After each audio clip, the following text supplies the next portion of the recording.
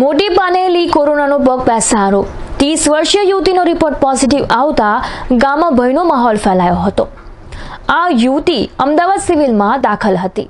ઉપલેટા તાલુકાના મોટી પાનેલી આશરે તેર હજારની વસ્તી ધરાવતા મોટી પાનેલી ગામમાં દલિત સમાજ પાછળના ભાગમાં રહેતા કોડી પરિવારની એક યુવતીનો કોરોના રિપોર્ટ પોઝિટિવ આવતા ગામમાં ભારે હડકંપ મચી જવા પામેલ છે. ગામ લોકોમાં ભયનો માહોલ છવાયેલ છે. માધુરી મનસુખભાઈ વિરમ ગામમાં જેમની ઉંમર આશરે ત્રીસ વર્ષ હોય. વીસેક દિવસ પહેલાં જ તેમના પતિએ આડા શંકાએ છરીના ઘા ઝીક્યા હતા.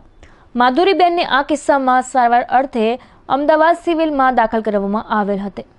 જ્યાંથી તેઓને કોરોના ટેસ્ટ લઈને ગુરુવારે રજા આપવામાં આવેલ હતું. આજે શુક્રવારના રોજ તેમનો રિપોર્ટ પોઝિટિવ આવતા તંત્ર કામે લાગી ગયેલ છે.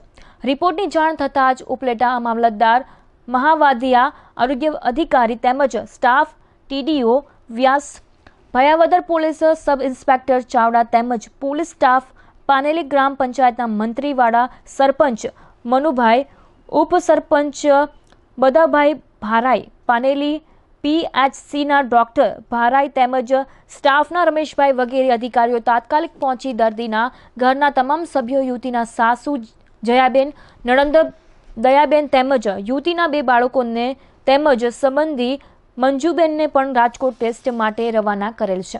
રહેણાંક વિસ્તારને પણ સીલ કરવામાં આવ્યો છે. આજુબાજુના ચારથી પાંચ પરિવારને પણ ક્વોરન્ટાઇન કરવામાં આવેલ છે. તાત્કાલિક આખા વિસ્તારને સેનિટાઈઝ કરવામાં આવેલ છે.